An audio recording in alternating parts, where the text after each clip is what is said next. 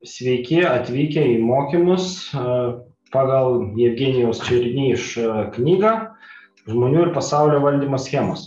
Ko galima tikėtis? Reiškia, tai mokymai vyks e, taip, bus devynios pamokos.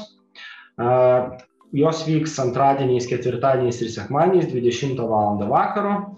Mokymų eiga yra maždaug viena valanda dėstoma medžiaga, viena valanda yra klausimam atsakymam, apie dvi valandas truks. Tai ką, kviečiame tada mūsų mokytoją. Labas, Evgenijai. Labas, labas, draugai. Taip, bus įdomi. Tikrai bus įdomi, man pačiam irgi taip pat. Žiūrėsim, kas gausis.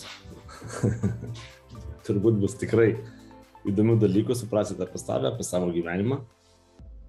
Jeigu trumpai apie mane, tai su praktikas, realus žmogus ir verslininkas, ir mokytojas, ir rašytojas, ir keturias knygas parašęs daug šalių apkeliavęs ir mane domina gyvenimas, mane domina žmogus.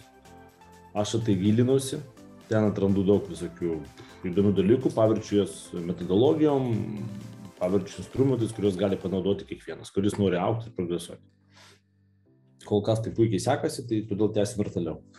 Tai šie mokymai atsirado iš tikrųjų dėka knygos, dėl to, kad nemažai žmonių klausinėjo, nu, tarkim, ne visada aišku, nes knygą neparašysi tiek, nu, kaip paprašysi, tai vat, buvo nuspręstas suorganizuoti va tokius gyvus. Niekada nebus taip pat, bus tik kitaip. Nereikia, aš net neįvardinu, kad bus geriau, nu kiti mėgsta, nieko bus geriau.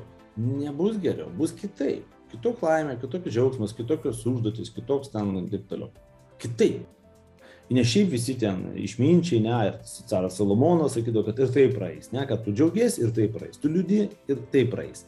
Nu irgi matyt, analizuodavo, ne, kas vyksta.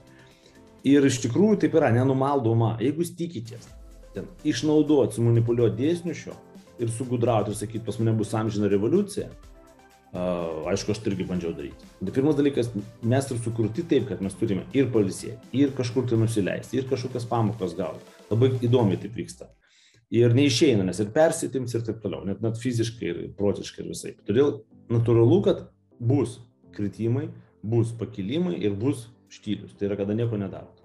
Nu, žiūrėk, jausdavot, ne, kai jūs atrodo, nu viską suprantat, gerai, gerai darot, daužytis, daužytis su galva, nu kas vyksta, ne, atrodo, gi viską, į nieko. O būna kur nors, bum, bum, bum, ir tau sukrito, bet tada baisu. Kai daužytis, nebaisu.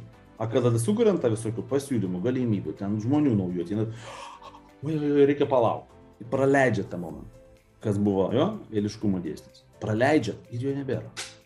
Viskas. Lauk kito. O, o tokio pačio nebūna.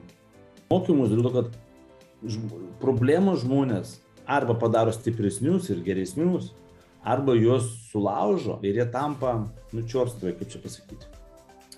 Be meilės taip nesinori sakyti, bet jie tampa grubus, nejautrus. Tai va šito bijokit, kaip nežinau, jeigu pas jūs po revoliucijos devoliucija, reiškia, jūs, nu, užimėt, sakykime, ne savo vietą. Paėmė daugiau negu priklauso. Parašyt gražų CV, gavo darbą ir atleido. Nu, o dvasingumas tai mūsų tas polikis, mintis, visa ta, visa ta energetika.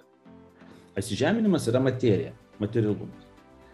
Ir kai mes sakome, ai, šitas labai dvasingas, nu, iš tikrųjų mes teisingai sakom, su ką jis toks išėjęs, ne? Tai yra jis neįsižeminęs, jis ne žemės žmogus, reiškia, pas jį bus blogai su pinigais, su realizacija, su aplinka, pas jį bus blogai.